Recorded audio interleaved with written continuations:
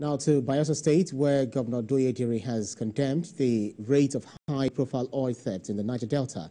He made this known when the Joint Monitoring Team on Oil and Gas Defense Headquarters, Abuja, visited the government house in Yenagoa. Joseph Kunde has the details. The Joint Monitoring Team of the Defense Headquarters, Abuja, is the military arm responsible for all activities related to the extraction, transportation, and security of crude oil and gas in Nigeria.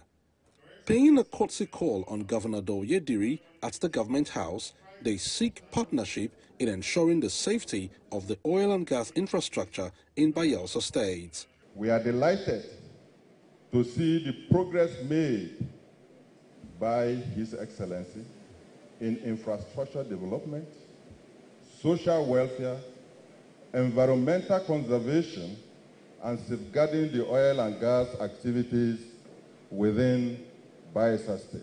Your Excellency, I would like to express our gratitude to you for your warm welcome and hospitality. We look forward to further collaboration and partnership with your government. The governor bemoans the involvement of some military personnel in oil theft while seeking more responsive action by oil companies in the states. It will be very sad and odyssey for us to see our own military. When those allegations are being bandied, I feel very bad.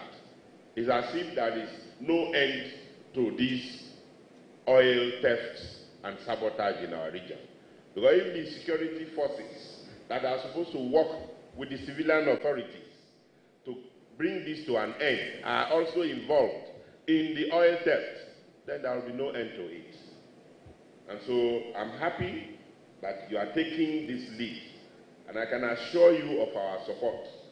We have started it, and we will support you and work with you to ensure that our production is shored up, our environment is not polluted the way it is polluted today. These oil companies also have the responsibility to ensure that their equipment are changed on time. The partnership is set to further improve Nigeria's production quota in the oil and gas industry. Joseph Kunde, TVC News, Yenagoa.